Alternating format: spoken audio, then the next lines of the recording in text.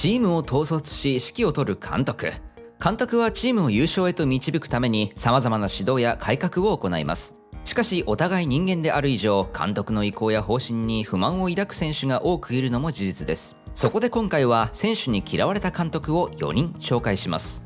堀内恒夫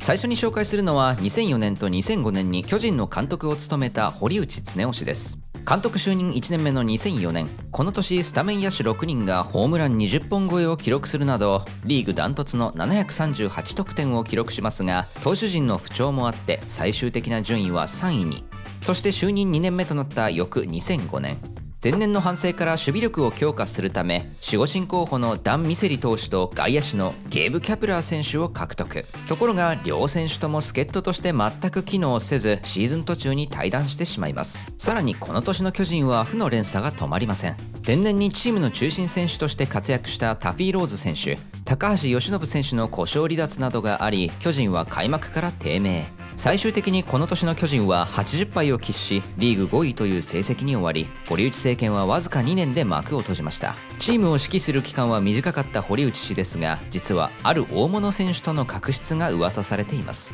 その人物とは現役時代球界を代表する右の長距離砲として活躍した清原和博氏です。堀内氏と清原氏は長嶋監督時代から折り合いが悪かったと言われています。そうした中堀内氏は2005年シーズン前の春季キャンプで清清原氏を2軍へ降格させます。清原氏は1軍の暖かいグアムからまだ寒さが残る宮崎に追いやられたのです。その上2軍のキャンプ地清武は当時まだ球場もブルペンも建設途中でろくに整備が整っていませんでした。こうした惨めな扱いを受けた清原氏は2軍は監獄に入れられてるみたいやった。とチーム内で不満をぶちまけていたそう。他にも両者の不仲を象徴するエピソードがあります。2005年8月に行われた敵地での広島戦。この試合7番で先発出場した清原氏は2打席目でホームランを放ちます。堀内氏が清原氏をベンチ前で出迎えますが清原氏はなんとそれをスルーこれが俗に言うハイタッチ拒否事件です。このハイタッチ拒否事件により清原氏は数日後に登録抹消。同年限りで巨人を退団することとなりました。井原春樹次に紹介するのは西武とオリックスで監督を務めた井原春樹氏です。2013年のシーズンオフに井原氏は2003年以来11年ぶりに西武の監督へ復帰。初めて西武の監督を務めた2002年にリーグ優勝。翌2003年もリーグ2位と監督として確かな実績があります。そんな井原氏は就任早々長髪ひげをごハットに。さらにユニフォームの着方にも注文をつけるなど井原流の改革を選手に突きつけます。また2013年の10月に西武ドームで行われた秋季練習の初日にはチームの主砲中村拓也選手にいきなり「西武鉄道の初乗り料金はいくらか知らんだろう」と問いかけます。これに中村選手が「知りません」と答えると「140円だよ140円。初乗り料金を知らないなんておかしい。みんな高い給料をもらってるけど140円から始まってるんだよ。と初日から社会人としての在り方を説教。さらに翌2014年シーズン開幕前の春季キャンプでも伊原流の練習を選手に課します地に足をつけて土台を作るこう宣言した伊原氏はキャンプの前半午前午後の2部制でランニングを実施するなど走り込みを徹底させます。その徹底ぶりからシートノックが初めて行われたのはキャンプ中盤の2月15日。紅白戦もわずか1試合のみでした。ところがシーズンが開幕するとキャンプでの実戦練習の少なさが影響したかのように楽天との開幕カードで3連敗。その後もチームの状態は上がりません。開幕から53試合を消化した時点で20勝33敗でパ・リーグの最下位に低迷。こうした成績の不振もあり井原氏は6月4日の試合後に休養することを表明。そして翌5日からは田辺則夫打撃コーチが監督代行を務めることが決まり井原氏は事実上の退任となりました。では一体なぜ第2次井原政権は機能しなかったのでしょうか。実は井原氏と選手の間には大きな確執があったのです。それを象徴するエピソードがあります。遠征中の5月16日チームは札幌から秋田に移動。その日の秋田は暴風雨でしたが井原氏は選手に屋外でのランニングを命じます。これで負のオーラを流すことができる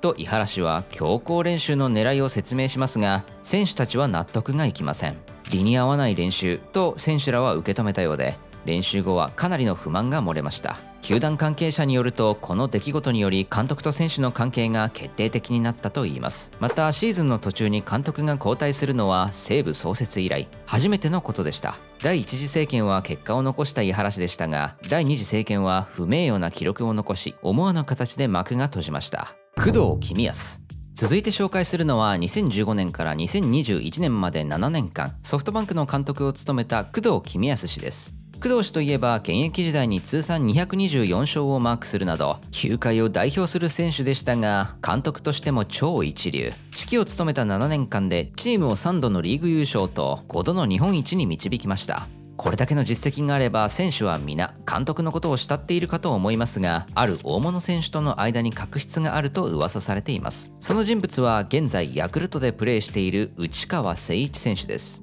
内川選手といえば2008年から2014年まで7シーズン連続で打率3割超えを達成するなど球界を代表する打者の一人です。工藤政権でも自慢のバットで幾度となくチームの勝利に貢献してきた内川選手ですが一体なぜ工藤氏との確執が噂されるようになったのでしょうか。その要因としてつい一言余計なことを言ってしまう内川選手の性格が挙げられます。内川選手はシーズン中工藤氏の采配について今日はあの場面で走らせるのはおかしいでしょう。などといったように番記者たちを相手によく批判していたのです。こうした内川選手の発言が耳に入ってしまい2人の間に確執が生まれてしまったのです。そしてその影響が2020年シーズンに強く出ることになります。内川選手は開幕前の練習試合で思うような成績を残せずソフトバンク移籍後は初めてとなる2軍からのスタートに。2軍では42試合の出場で打率3割2分7厘と格の違いを見せていましたがこの年内川選手が1軍に呼ばれることは一度もありませんでした。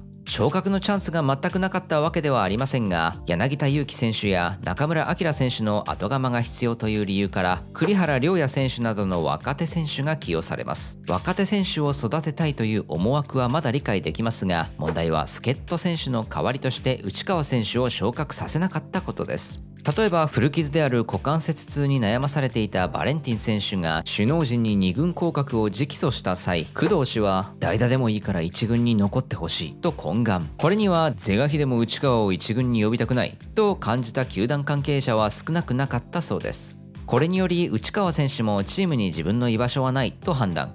同年限りでソフトバンクを退団しヤクルトへ移籍しました。西村則文。最後に紹介するのはロッテとオリックスで監督を務めた西村則文氏です。